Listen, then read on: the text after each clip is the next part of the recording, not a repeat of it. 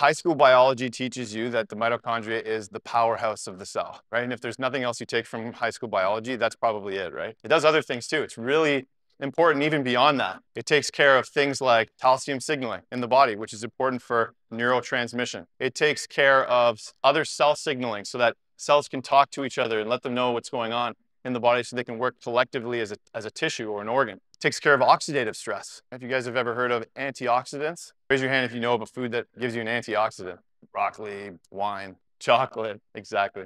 Well, the mitochondria is largely responsible for helping manage oxidative stress. It's also responsible for apoptosis, right? Programmed cell death, cases where your cells might be differentiating into something like a tumor. Something needs to decide that it's time to shut down and self-destruct before things get out of hand. Well, the mitochondria is largely responsible for that.